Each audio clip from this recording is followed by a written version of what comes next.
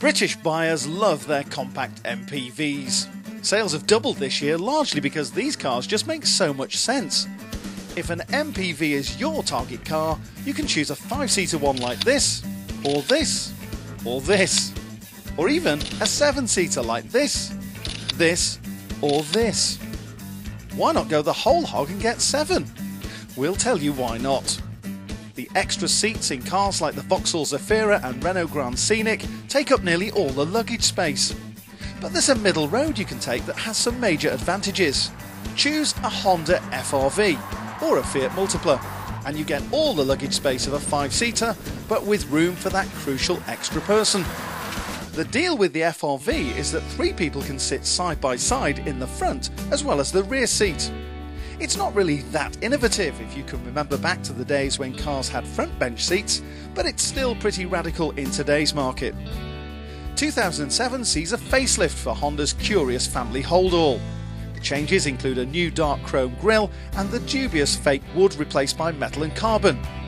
There are new brighter covers for those comfortable seats too. Inside, the fit and finish are on a par with Lexus, and all at prices that start around £16,000. There's a classy feel to this Honda. The steering wheel with its built-in controls for the pumping stereo system is a precision piece of kit, and the gear lever, sprouting from the dashboard, has a smooth and very precise action. Pity the handbrake is so awkward. There's a new petrol engine. Both the 1.7 and 2 litre units have been chucked out and replaced by a 1.8. It's a very sweet unit. But though this FRV will bowl along at a surprising pace, you'll need to use the gears to get the most of it.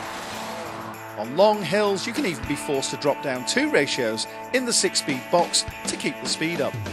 But despite that, the FRV is a delight to drive. It feels so right with great visibility and responsive handling in the bends. You even get accustomed to its width, which, remarkably, is no greater than a scenic. Back to that interior though, the three seat configuration does mean nearly all the dashboard controls are out of easy reach. On the other hand, Honda has avoided the rubbing shoulders problem by making the middle seat slide back so that shoulders are out of line. A car like this needs its party tricks and the FRV doesn't disappoint. Not using the third front seat, flip over the cushion and you've got a useful stowage area and a small table. Or just tip the complete backrest forward to make an armrest.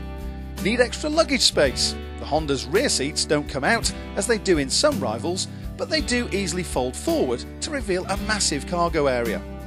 Honda seems to have thoroughly considered the compact MPV concept and come up with something a little out of the ordinary. If six seats are useful to you, the FRV has to be on your shortlist.